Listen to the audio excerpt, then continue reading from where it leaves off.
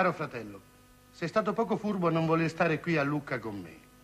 Avrei potuto farti assumere nel quartetto e avresti avuto camera a palazzo, stipendio e divertimenti. Hai preferito tornare a casa a farmi sentire che sono il figlio cattivo che ha lasciato la mamma sola. Lui deve fare la sua carriera d'artista. Mm, lui può fare tutto.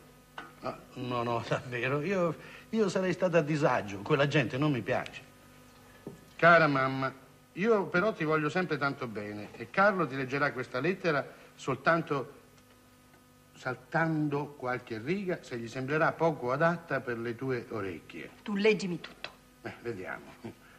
Non voglio più usare il mio violino per pagare i debiti all'osteria, la miseria e la morte dell'arte. Quindi io preferisco eh, Elisa Bonaparte che è la più stravagante. Hai saltato qualcosa? no, no, mamma. No. Il marito conta come il due di coppe. Elisa disegna persino le uniformi e butta per aria la città per fare monumenti al fratello. Persino sua figlia l'ha chiamata Napoleone. Hai visto com'è finita la Carmagnola, Carlo? Sono diventati tutti re e principi. Io però, armato del mio violino, mi sento libero. Hai saltato qualcosa? È lui che ha saltato qualcosa, mamma. Come? No, no, niente, mamma, niente. Ormai suono quello che voglio, e da solo. Non credere che io sia il servo o il giullare di Elisa. Anzi, la obbligo a capire la musica. La torturo col mio violino e sono il suo implacabilissimo amico. Lei mi dà medaglie, onorificenze e visto che non può farmi né duca né cardinale, mi ha nominato capitano dei pompieri. Dei pompieri? Carica puramente formale, naturalmente. È un po' gelosa per certe scappatelle che... Cosa c'è? Niente, niente, qualche sciocchezza con le ragazze. Scrivi che stai attento alla salute. E di non scherzare col fuoco. Anche se adesso è capitano dei pompieri. Adesso è arrivata l'altra sorella di Napoleone, Paolina. È la bella della famiglia e si offenderebbe a morte se qualcuno non la corteggiasse. Ma Elisa mi tiene d'occhio più che mai. E tu? Mi interessa d'arte adesso. D'arte, cioè d'artisti. E di che artisti? Ho un grande attore che quando recita mi guarda sempre, mi fissa. Declama per me. Ah, sì. Bello, potente, in costume romano antico. Sembra una scultura greca. Greco-romana, come i lottatori. Proprio, braccia nude così. Ma ti piacciono gli artisti o gli atleti?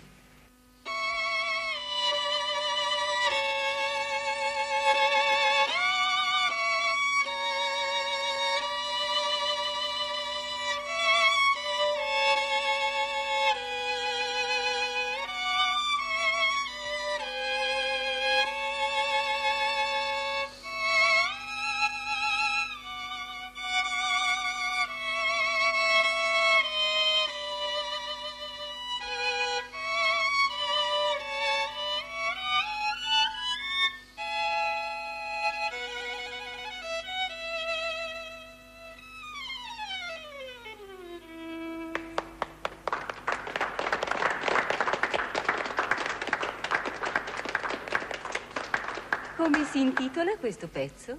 È il ventunesimo dei miei 24 capricci. Ma io preferisco chiamarlo capriccio amoroso. Per quanto voi siate un eccellente violinista, e questo nessuno lo mette in dubbio, non mi sembra che questo genere di capricci... Cosa? Che non sia abbastanza amoroso? Ho anche un altro pezzo che ho concepito su due corde sole, il sol e il cantino. Sono due voci che parlano, un dialogo fra un uomo e una donna. Una vera scena amorosa. Bellissimo. Sentiamolo. No, non mi va. E allora eliminiamo la donna, lasciamo l'uomo. Una sonata intitolata Napoleon. Su una corda sola, perché Napoleone è unico.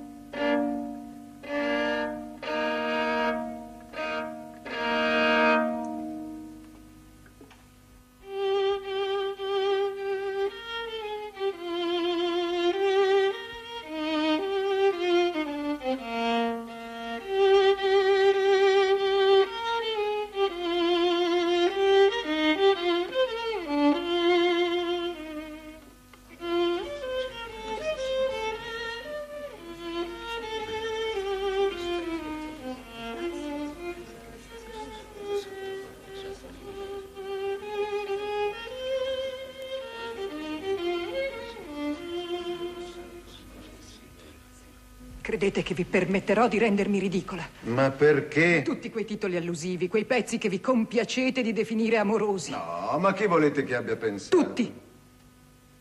Tranne Felice, poverino, che ha solo paura che io sia troppo sensibile alla vostra musica. Non commuovetevi, vi sta male. Era soltanto un gioco, uno scherzo. Non vi degnate neanche di giustificarvi. No. Ma posso dichiararvi che non me ne importa niente di Paolina, se è questo che vi interessa. Vi pare che sia così bella come dicono? È soltanto una donna molto vanitosa. È una vipera, mi odia. O me o lei, Nicolò, dovete scegliere.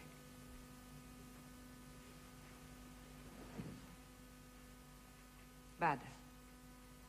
Se mi rifai una scena amorosa come quella di stasera, puoi dire addio a tutto. Ma cosa vuoi? Il bacio d'addio. Ma non hai promesso, Paolina? Prometto di non corteggiarla più in pubblico.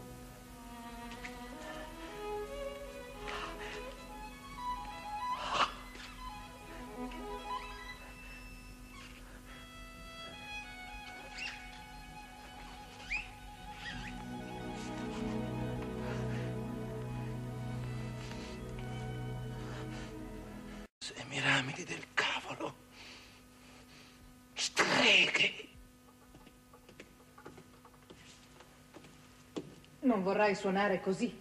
Perché no? Cambiati. Ma niente affatto, ci ho messo un'ora a prepararmi. Non hai il senso del ridicolo. Ti sembra ridicola questa divisa?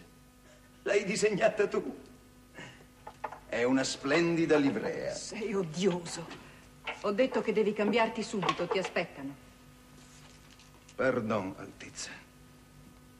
Voi forse non l'avete ancora capito. Io faccio quello che voglio. E io ti faccio arrestare. Pensa allo scandalo. Tutti i tuoi invitati aspettano me. Non sei Lucrezia Borgia che puoi farmi sparire. Guarda che così è finita. Amore, lo faccio proprio per questo. Volevi legarmi e ti sei sbagliata. Io ti faccio buttar fuori da Lucca. Non ti scomodare. Me ne vado io subito, non appena finito il concerto. Non vedo l'ora. Ti sei servito di me. Sì, certo. Ma adesso basta. Sono stufo di fare il mostro sacro per queste quattro mummie, delle tue uniformi, della tua etichetta. Non voglio più essere il leccapiede di quattro cortigiani. Non voglio sedurre duchesse, principesse. Voglio tutto un pubblico da sedurre, incantare. Un pubblico vero. Teatri,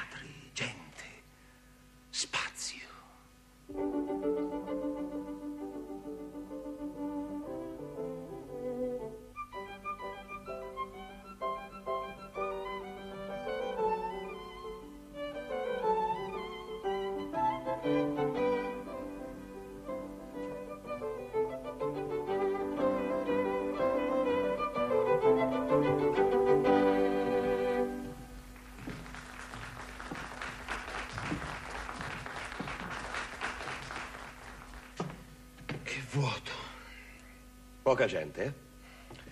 Si vede che i nostri nomi non servono a chiamare.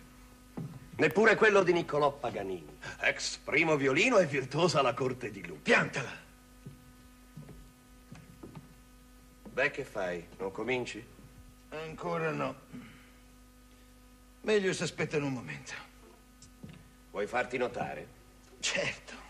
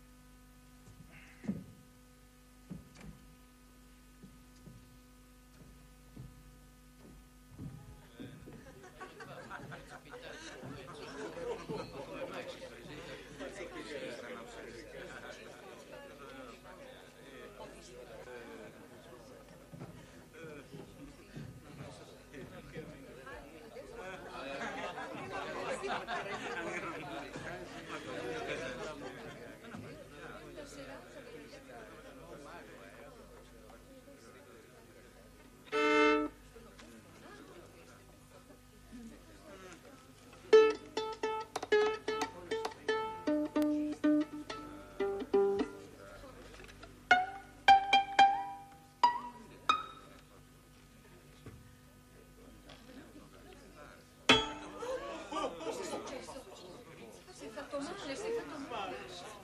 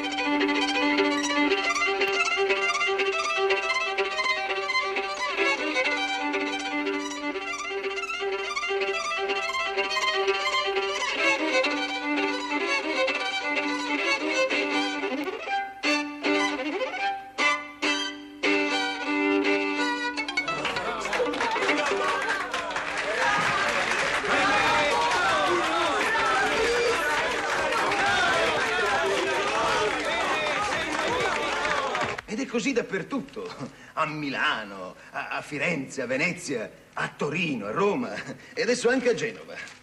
Ehm, mm.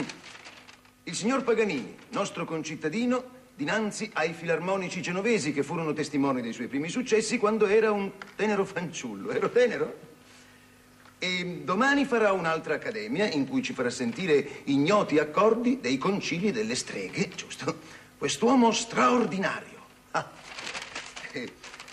Ha dunque appreso nel cielo l'armonia degli angeli, al noce di Benevento quella delle streghe, non gli resta che condurci all'inferno per rivelarci quella dei demoni. Meglio di Virgilio, Dante, Tasso, eh, Orfeo, i quali tutti ha superati col suo miracoloso violino. E poi c'è c'è ancora un, un, sonetto, un sonetto in mio onore dell'Alessio e, e un acrostico di un certo avvocato Germi. E a proposito, senti, Carlo, visto che mi ammira tanto questo avvocato Germi, dovresti dirgli di fare causa a quell'impresario che mi ha truffato di 230 lire. Ma tu perché ti accechi ancora così? Soldi te ne ho mandati, te ne mando. Se non bastano, Carlo deve dirmelo. Bastano, bastano. E poi ci sono anch'io. Non crederei che stia sempre a mettere navi in bottiglia. Ma io mi diverto a lavorare. E se no cosa faccio? E poi questo è per il corredo di tua sorella Domenica.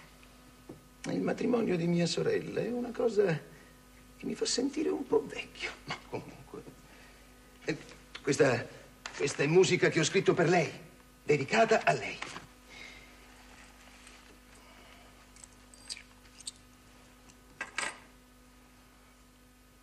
Non c'era bisogno che tu ti disturbassi.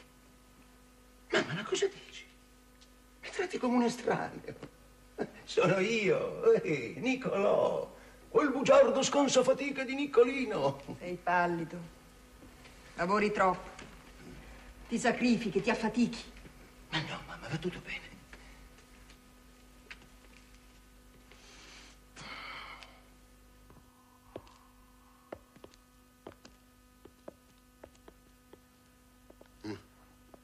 Lo manderanno in esilio all'isola d'Elba. Da Genova all'Elba quanto c'è? Possiamo andare a trovarlo. Gli porto i saluti delle sue sorelle. E adesso avranno abbassato la cresta anche loro. A me fa un certo effetto. A me no. Cosa vuoi che me ne importi di Napoleone? Preferisco i Napoleoni d'oro. Non fare il cinico. Tu non sei così. È la gente come lui che ci ha insegnato che grandezza e cinismo vanno d'accordo. Tu fai bene a non fare il cinico. Ma io voglio essere grande. E allora? Al ladro! Prendetelo! Prendetelo! Guardate come corre, che quello se lo dà la gambe! Vino, fuori, corriamo, dai! Forza che ce lo prendiamo! Prendetelo! Eccolo! Ladro! Lasciatemi! visto, sai? Non ho rubato le forbici, lasciatemi! Mi fate male! No, lasciatemi! Lo scherzo anch'io, ma rubo e tesue! Le forbici? Non è vero, le ho pagate abbastanza per quello che valgono. Ma mica conosci, oh! Me l'hai finito, Carlo Evangelina! Ma lei ha pigiato un sarto cavanna! Ma lei è una sciarbelletta! Non è vero, non è vero, no, non è vero! Sì, invece sei una poco di buono. Non è vero! Sì, è vero, sei proprio una poco di buono. Tutte le sere fuori da casa a ballare con i foresti e con i sciortati! Perché il rivale si veste da maschio! Non è vero! Bugie, tutte bugie, io lavoro e basta. Mi consumo gli occhi a cucire. Ho preso le forbici perché ho perduto quelle di mio padre. E se lui se ne accorge mi picchia. Tutto quello che avevo a quella strega. Perché ti vesti da ragazzo? Perché ho paura degli uomini. Perché ho 16 anni, sono bella e gli uomini sono cattivi.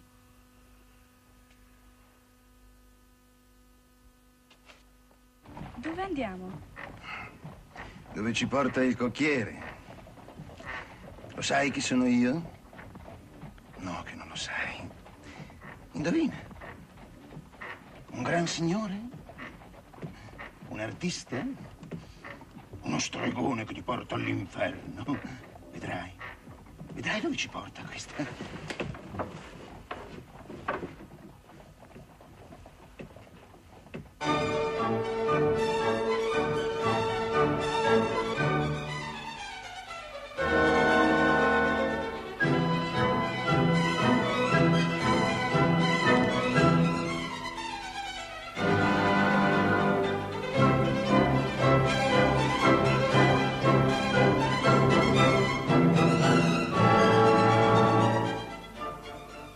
Ma io rappresento l'ingenuità ingannata, perseguitata e maltrattata. Quella di una fanciulla minorenne, vittima di un corruttore, un cinico libertino, esperto nelle arti della seduzione e pronto a tutto pur di soddisfare le sue voglie perverse. Spero che l'illustre collega di parte civile non avrà l'impressione che gli faccia il verso se sostengo che in questo tribunale sono io che difendo l'ingenuità. Quella di un artista troppo pronto a credere nella bellezza e nella spontaneità dei sentimenti. Non parliamo di sentimenti, per favore. Mi sia concesso È ridicolo! di concludere che io difendo Niccolò Paganini dalle calunnie di chi lo ha illuso e ingannato per ricavarne un utile. Veniamo ai fatti, per favore, altrimenti è troppo facile giocare sull'equivoco. Il signor Paganini, un artista, e chi lo nega, essendo di passaggio a Genova per esercitare nei teatri la sua professione o arte che sia, ha incontrato una bella giovane di minore età, Angiolina Cavanna, e con il cinismo tipico di chi vive un'esistenza irregolare, con la presunzione diabolica di chi crede che tutto gli sia permesso, ha creduto di poterla prendere spensieratamente, cogliendola come un frutto cresciuto ai margini della sua strada, senza renderne conto a nessuno. La rapita quindi, sottraendola alla famiglia, al padre, un onesto artigiano, e in seguito, scoprendo d'averla resa madre, l'ha abbandonata. L'ingenuità di questo artista, dunque, signori, questo artista che accusiamo di stupro, rapimento, maltrattamenti, abbandono e crimini forse ancor più inumani, questa ingenuità mi pare molto difficile da dimostrare. Io posso invece dimostrare che l'ingenuità della minorenne Angiolina Cavanna e l'onestà dell'onesto artigiano suo padre sono veramente molto discutibili. Ho testimoni pronti a dichiarare che il sarto Cavanna, che qui si erge a vittima e accusatore, dedito al bere e sempre meno in grado di procacciarsi da vivere col proprio lavoro, non ha esitato a prostituire la figlia. Non è vero! Quei pretesi testimoni, qualora dovessero presentarsi, non farebbero che esporsi ad essere perseguiti per aver abusato di una minorenne e li inviteremmo a sedersi accanto all'imputato. Angiolina Cavanna ha seguito l'imputato spontaneamente per suo capriccio. Ipnotizzata dall'imputato! Chiedo la parola! Riservandomi di provare quanto ho detto, devo almeno precisare che primo il signor Niccolò Paganini ha ricambiato l'amore della cavanna senza rendersi conto del poco pregio di quell'amore che era stato venduto a tanti. E questo, io dico, è generoso e ingenuo. Secondo, non sapendo che la cavanna avesse una famiglia, e io mi chiedo se un padre sfruttatore può essere considerato una famiglia, l'ha tenuta con sé. Terzo, quando ha scoperto che la ragazza era incinta, pur avendo mille ragioni per dubitare di essere responsabile del suo stato, non l'ha abbandonata affatto. Dite piuttosto che una sera, tornando al suo alloggio, il mio difeso non l'ha trovata più. Angiolina Cavanna era partita, portando via tutto ciò che ha trovato di utile e strappando per puro sfregio importanti composizioni del maestro. Suggestivo racconto. Ma mentre tutti piangono sulle carte strappate del grande artista, vediamo un po' come sono stati i giorni di Angiolina Cavanna accanto a lui. Un inferno. Lei e lui non la trovava più divertente. Per settimane la lasciava sola. Impegni di lavoro. La lasciava sola dimenticando di assicurarsi che avesse denaro e cibo. È questo che io chiamo abbandono. Ma è lei che poi lo ha lasciato. Spaventata. È fuggita, certo. Cercando qualcosa che le consentisse di affrontare il viaggio per tornare da suo padre. E cercandolo senza troppo riguardo per la carta da musica che sommergeva tutto in quel piccolo alloggio freddo e vuoto. È fuggita spaventata perché questo artista, generoso e grande, aveva cercato di farle ingerire veleno, evidentemente sperando di farla abortire. Questa no! Vi rimangerete questa Era un calmante, era soltanto un calmante! Perché dovrei dare 1200 lire a Cavanna? Perché voi mi avete chiesto di farvi uscire subito. Quindi bisogna accordarsi col Cavanna. Se tenevamo duro, forse si risparmiava qualcosa. Ma io dovrei restare qua dentro, fra topi, ragni, con la febbre, finché quello sfruttatore di Cavanna non si decide a calare il prezzo. Con le manette! Guardate, le stimmate. E se non riuscissi più a suonare?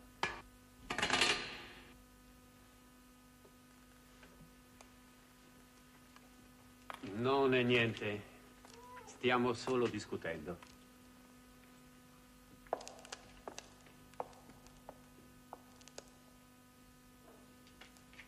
Vedete, se smaniate così vi tengono le manette. Vi consiglio di stare calmo e ragionare. Sono convinto che fra una settimana... No. Pagate, subito. Voglio uscire, subito.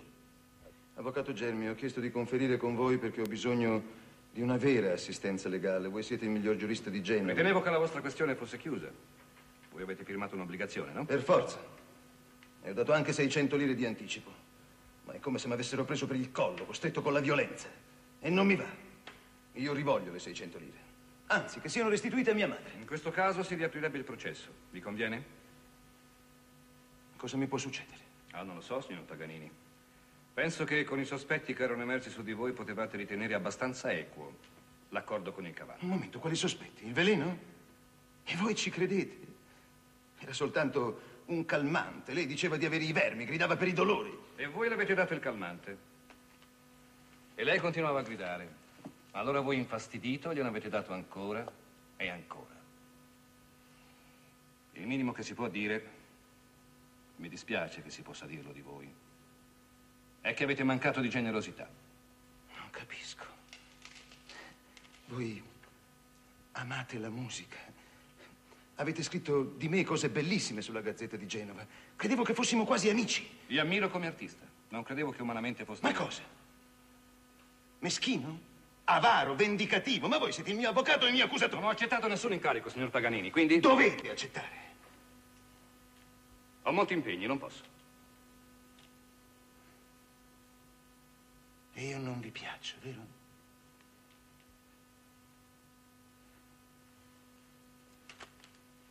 Voi siete un grande violinista, signor Paganini. Il più grande, forse. E io adoro la musica, ho anche tentato di suonare il violino, quindi so che non tutti hanno questo dono. È molto difficile farlo decentemente. È quasi divino. O diabolico. Farlo con la vostra maestria. Pensate che ho dato l'anima al diavolo? Qualcosa di sì. Scherzate. No. Conoscete il tedesco? Io? Sono molto ignorante, sapete. Conosco il genovese di mio padre, il napoletano del mio maestro di contrappunto e il francese, o meglio, le imprecazioni di Elisa Bonaparte. E me la cavo con qualche errore a scrivere in italiano, ma preferisco sgorbiare le note musicali per fissare le mie composizioni. Perché dovrei conoscere il tedesco? Per poter leggere questo libro. La storia di un genio che voleva il successo e la gioia. Anzi no. Qui non si tratta di gioia, dice. Io mi consacro al tumulto, al godimento che è tutt'uno col dolore, all'odio che nasce dall'amore. Quello che è toccato in sorte all'umanità io lo voglio godere entro me stesso e dilatare me stesso fino agio.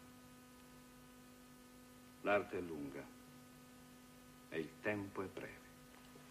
Così dice Fausto. E gioca tutto. La sua vita e la vita di quelli che potrebbero amarlo. C'è anche una ragazza sedotta e sacrificata. Voi credete all'anima immortale? Per me l'anima è... L'anima del mio violino è un pezzo di legno d'abete sotto il piede destro del ponticello, che se si sposta è un disastro. No, vi prego. Vi prego, non mi prendete in giro. Io vi sto parlando molto sinceramente. Non voglio fare il predicatore. E la mia invidia per la vostra capacità di, di esprimere la musica è grande, sì, ma non mi rende ostile, anzi, vorrei scoprire che siete buono. Io non sopporto l'idea che la bontà e la grandezza siano inconciliabili.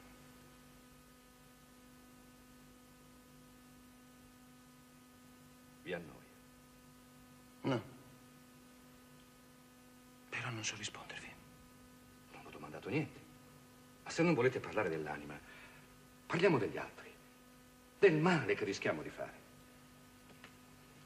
Quella ragazza forse è una piccola prostituta e il padre forse è uno sfruttatore. Ma voi, Ho fatto i miei comodi, voi dite? se vi siete impegolato con quella gente, non potete lamentarvi delle conseguenze e dovete risponderne. Quella ragazza era incinta. Il figlio potrebbe non essere vostro, ma potrebbe anche esserlo. Ve ne siete preoccupati? Più di quello che credete. Se non fosse nato morto l'avrei fatto levare da mia sorella, era già deciso. Aspettate, vi dico di più. Io non disprezzo quella gente, come la chiamate voi. Se la miseria ne ha fatto dei miserabili, io lo so che può succedere. Ma cerco di tenere alto il mio violino, fuori dalla spazzatura. Non voglio essere fermato da niente, sono egoista. Anch'io potevo naufragare, conosco la miseria. Dicono che sono avaro, forse lo sono, ma è per questo. Cosa c'è? So che anche qui esagerate per rendervi interessanti. Vostro padre non era poi tanto povero come avete detto ai giornalisti milanesi. A casa mia si è sempre parlato di soldi e della paura di rimanere senza. E io ho ancora paura. E allora? Sono egoista, avaro, superbo e pauroso. E ignorante. Non mi volete aiutare? Fate quello che volete con questo processo, purché io non sia più, più messo in prigione o alla sbarra. Se devo essere generoso lo sarò, decidete voi. Io, se volete imparare il violino, cercherò di dirvi tutto quello che so.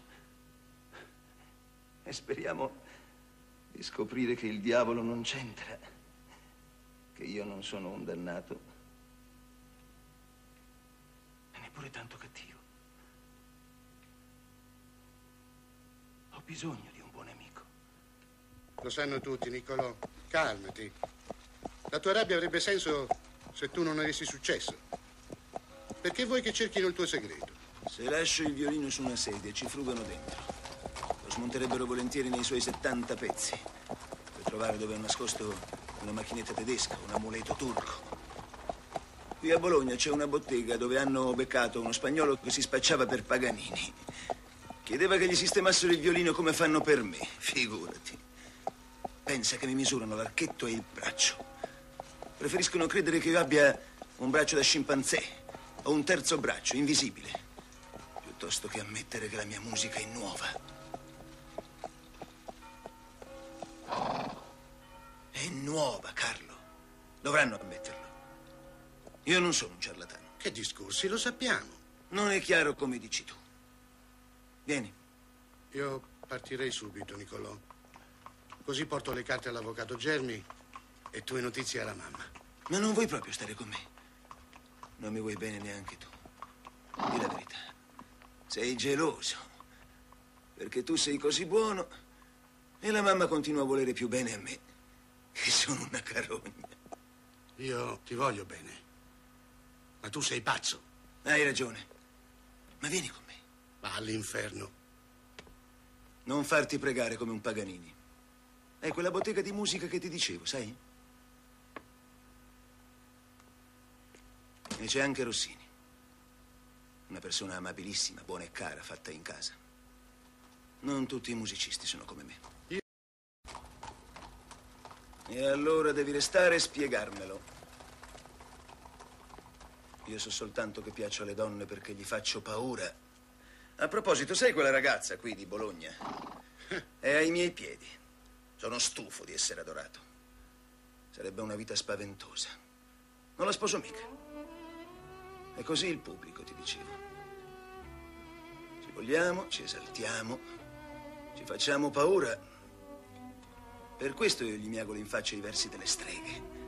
Le donne svengono, gli uomini mi portano in trionfo, urlando, come se volessero correre e impiccarmi un lampione. E quello è Rossini.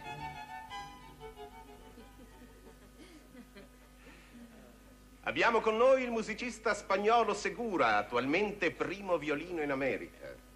Per dare un'idea della sua valentia basterà dire che qualcuno non ha potuto scambiare con il nostro Paganini.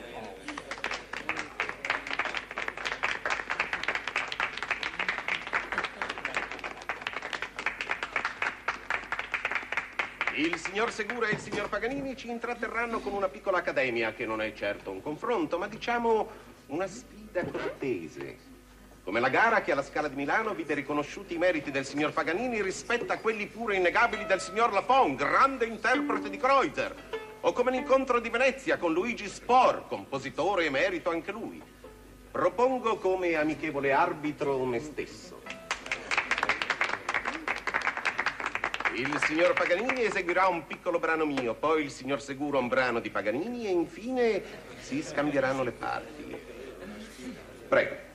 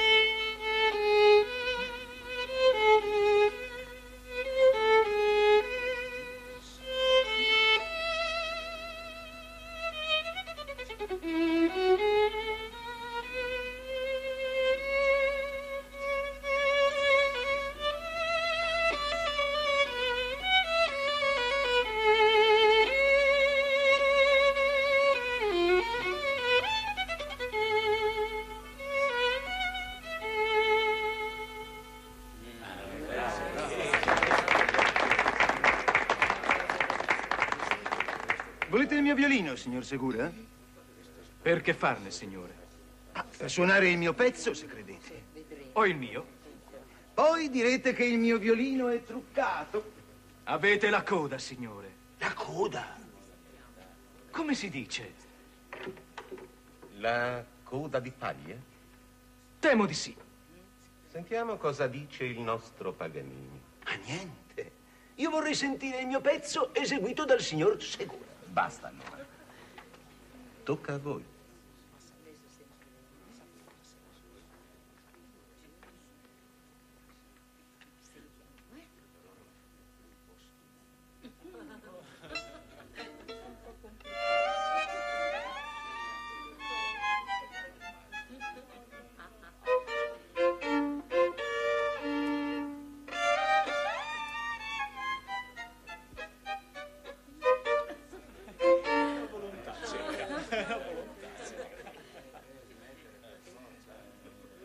Questo è un trucco. Lo sapevo. Questo brano è ineseguibile. Credete? Proviamo,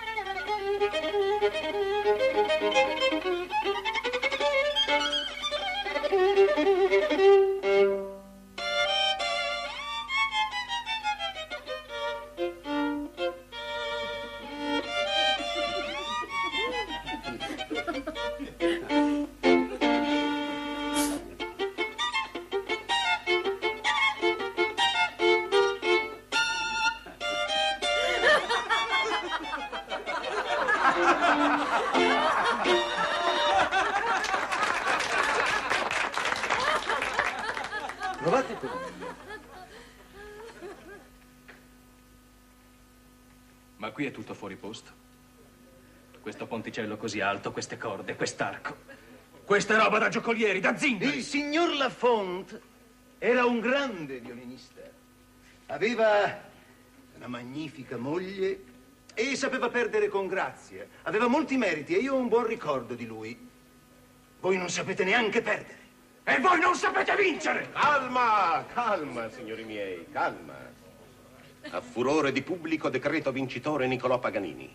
Il suo virtuosismo trascendentale, la sua fantasia illimitata gli consentono doppi armonici, sequenze di accordi multipli, colpi d'arco, pizzicati e smanicamenti arditissimi che mai erano stati eseguiti da un solo violino. Per ottenere tanto non basterebbe riunire qui tutti i suoi predecessori illustri, compresi i grandi Locatelli, Tartini, Gemignani, Pugnani e Viotti.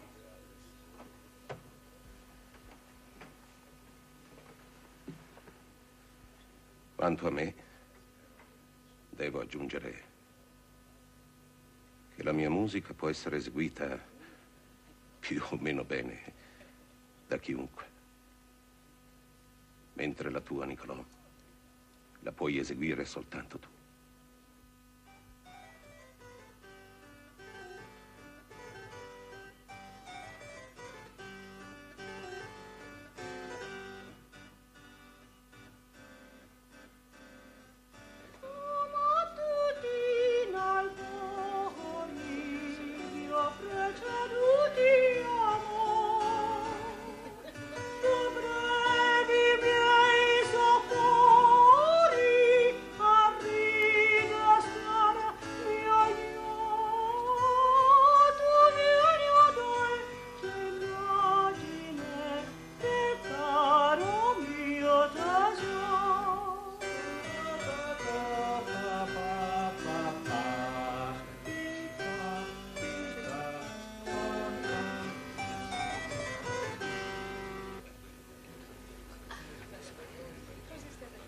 Avrei sete.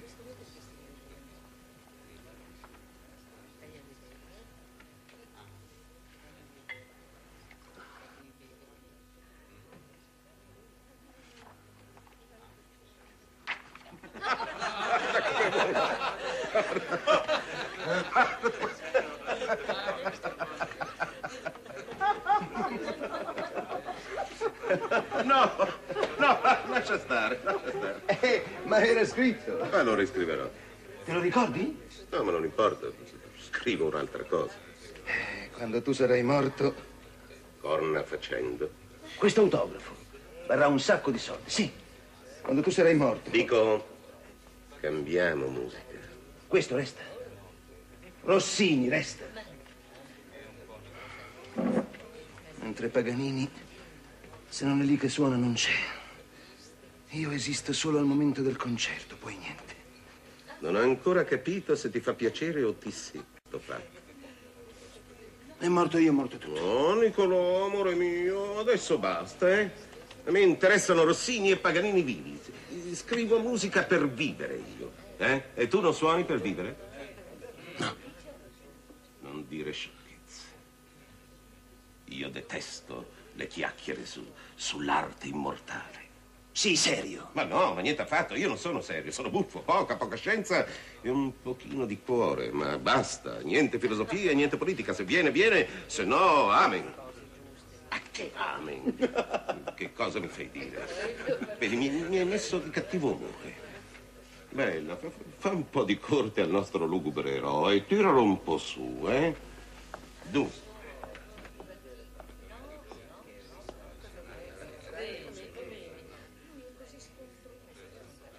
Dopo, dopo.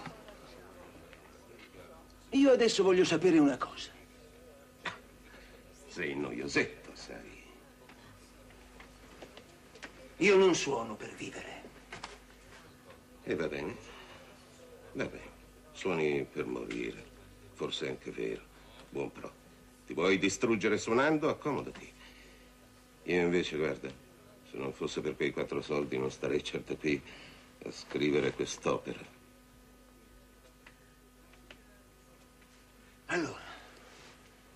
Vuoi dire che sei più ciarlatano di me? Appunto. Tu non mi stai dicendo la verità. Perché sei così bugiardo con me? Anzi, con te stesso. Vuoi sapere la verità?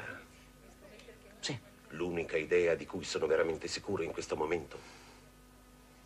Sì. Ho fame! Buffo! Sì, sì, grazie signore. Sono io colui. E voi siete il noto vecchio musicista applaudito nei principali cimiteri nordici? Tienti, tienti tutto dentro. Non confidarti con gli amici. Scoppierai. Andiamo, andiamo, secque de burneo vampiro! Il sangue scorre nelle principali trattorie e tu hai bisogno di abbeverarti e io ho bisogno che tu stia un po' zitto. Andiamo, belli! Preparatevi a un banchetto davvero indimenticabile! Questa volta paga sul serio Nicolò, così impara! Formidabile, ah, formidabile. Mm, Quasi, quasi come il mio minestrone genovese. E dire che il minestrone di mia madre ha tutti i profumi del mondo. Mm, A proposito, quando ci vieni a Genova con me da mia madre? Non vorrei che fosse una proposta troppo seria. Io non ho nessuna intenzione di sposarti, Nicolino. Ma tu non mangi, trangugi. Mm, Voglio assaggiare tutto, mi piace tutto. Così non assapori, non gusti. È, è- è un peccato darti della roba buona. Questo baccalà alla livornese, per esempio, ci vuole calma. E una cerimonia, un rito. Di bugiardo. Tu non hai neanche fame.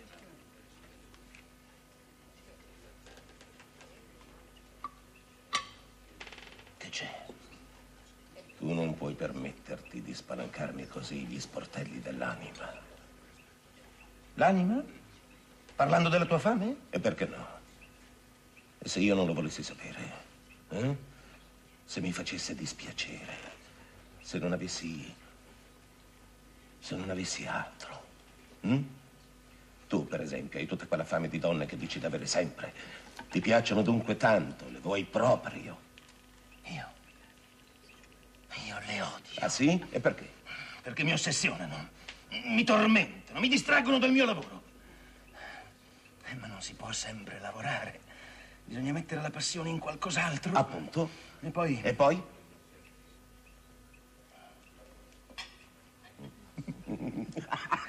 Io, io non mi sposerò mai. No, neanch'io, se è per questo.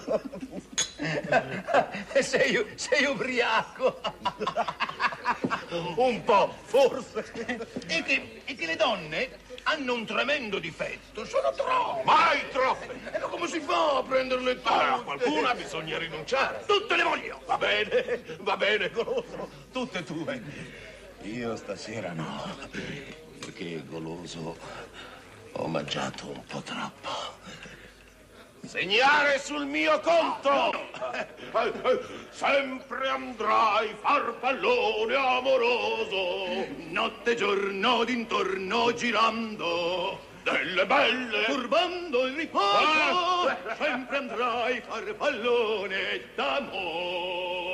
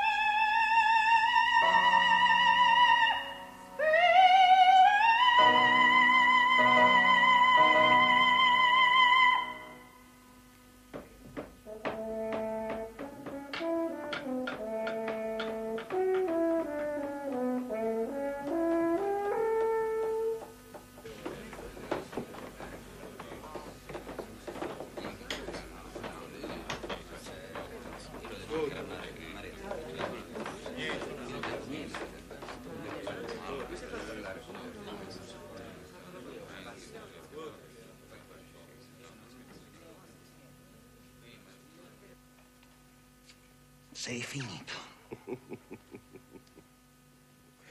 La prova è andata un po' maluccio, sì, ma non esageriamo. E tu non te ne preoccupi.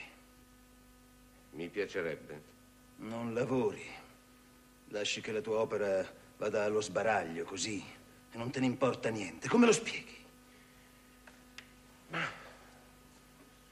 Forse sono un po' stanco. Ho fatto tre opere all'anno per dieci anni e magari basta. No, Chi lo dice? io. Non sei stanco. Sei innamorato. E io ti reggerei anche il moccolo, sempre pronto. Sei un amico. Ma voglio essere sicuro che non ti rovini. Ma non sei mia madre. Infischiatene per favore. Non posso. Nicolò. Perdi tempo dietro la Isabella Colbran, che è la donna del Barbaia, il quale Barbaia è il tuo maggiore impresario e starebbe per portarti a Vienna. Ma ti sembra ragionevole? Mi sembra che siano affari miei. Vieni o non vieni? Dov'è il mio Rossini? A cena, con o senza Nicolò.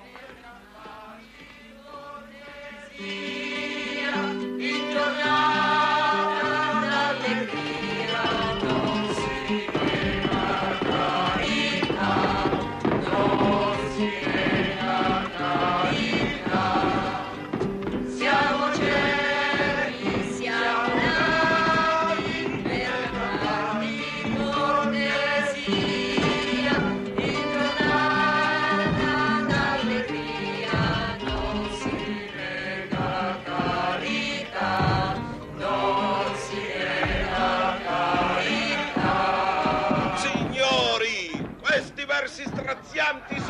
Massimo d'Azeglio. Avete dunque un cuore di pietra.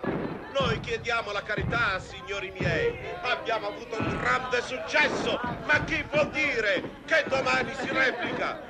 Pietà, signori, per un povero musicista buffo che non sa commuovere. Ma cosa fai?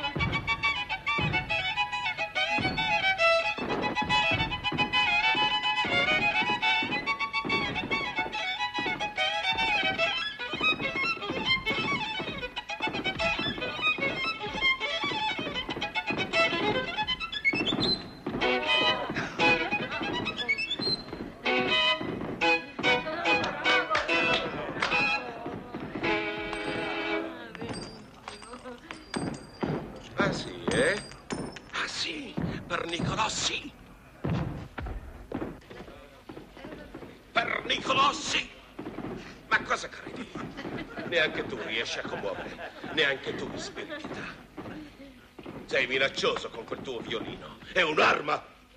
E questa è una rapina. Ci gettano i soldi, sì, perché hanno paura, ma presto chiameranno le guardie. Sento già i passi spietati degli sbirri. Difendimi tu, amore.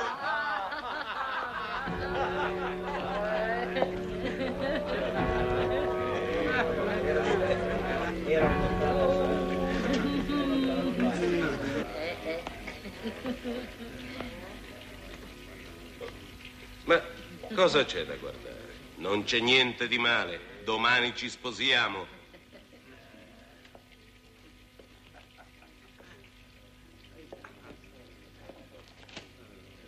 Sì, Nicolò. Mi sposo. Allora ti sbagliavi. Tu fai pietà, amico mio. Il grande Rossini preso al laccio. Ma Nicolò, Fine ingloriosa del carnevale, voglio le ceneri. siete gentile. E voi gliel'avete detto al povero Barbaia. Amico, adesso esageri. Lo vedi che fai sul serio? Sei fritto. Cosa vuoi fare? Sfidarmi a duello? Io no. Solo dirti, e questa volta parlo sul serio, che sei davvero un guastafeste. Quale festa?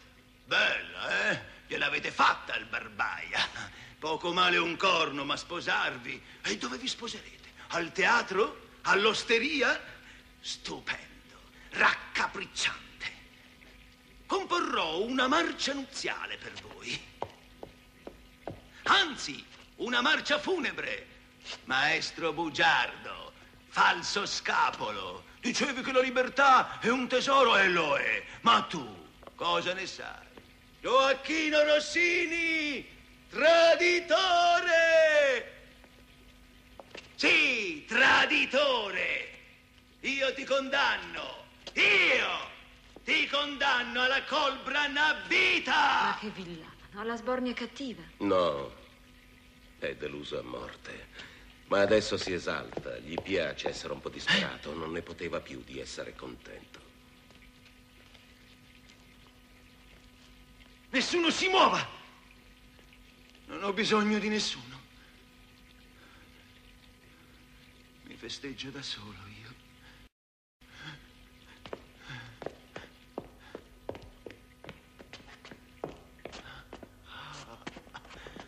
Il contratto.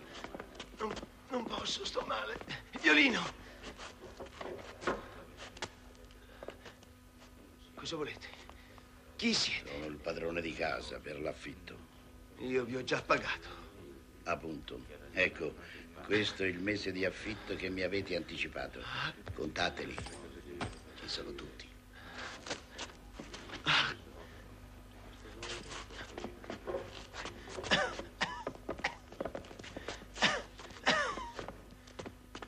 Ma che cos'ha? Non l'hai visto? Per essere brutto e brutto, che sarà? Magari la peste. Mamma mia. Un complotto, è, è, un complotto. Ci siete riusciti, eh? Avete comprato il mio corpo per fare esperimenti. Fate, fate! Dottore, da quando sono qui non ha mangiato. E non deve mangiare. Niente di niente, latte d'asina e basta. Ma così si sfinisce. Oh, il medico sono io. Stiamo facendo il possibile, sirigature, salassi, mercurio. Io non ce la faccio. Ma cosa? Non si può dire. È un temperamento sanguigno, qualcosa l'ha infettato, non si sa cosa. Io voglio uscire. Io, I miei vestiti, datemi i miei vestiti. Io, io devo andare. Nicolò, ci sono a io. Parigi, a Vienna. Su, su, tenetelo calmo. No, no. Oh, oh, oh.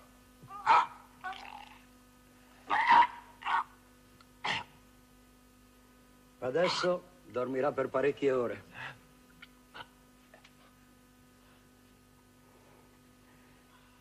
Dio, fa impressione.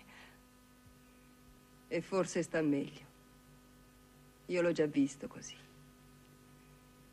Ma voi sapete cosa gli era successo? Stava bene. È scappato, scomparso. Non voleva vedere più nessuno, voleva star solo. Diceva... È fatto così. Ma voi gli volete bene, vero? Non avrei mai il coraggio di dirglielo. Si arrabbia tanto facilmente. Accomodatevi.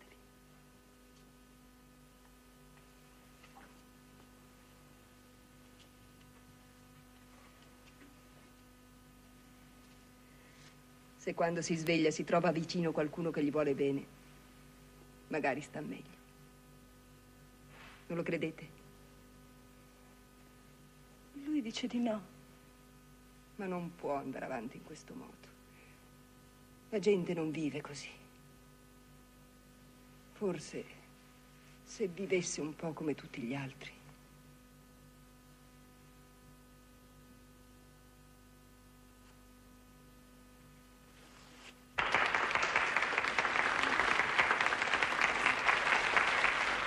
Grazie, grazie. Ma ora vorrei che il mio strumento tacesse. Io sono sempre stato convinto che tutto quello che può fare la voce umana può farlo anche il violino. Ma devo ammettere che quello che può fare il violino può farlo anche la voce umana. Per questo ho composto un capriccio vocale e vi prego di ascoltarlo dalla voce di una squisita soprano, Antonia Bianchi.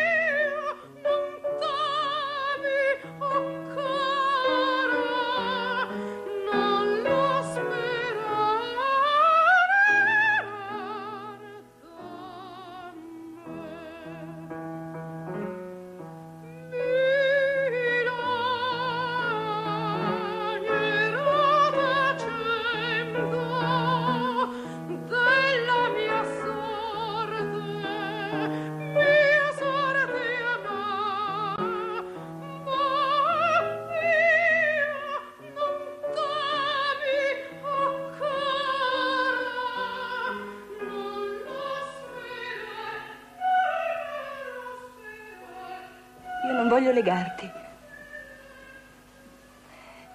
È che tu sei buono. E magari è vero. Quindi mi sei grato perché ti sono stata vicina mentre stavi male. Ma io ti sono stata vicina. Mi è sembrato giusto trovarti là con la mia mamma. Ma io sono una donna troppo semplice per te. Sono soltanto una madre. Chissà. Forse scopriremo che anch'io sono buono. E...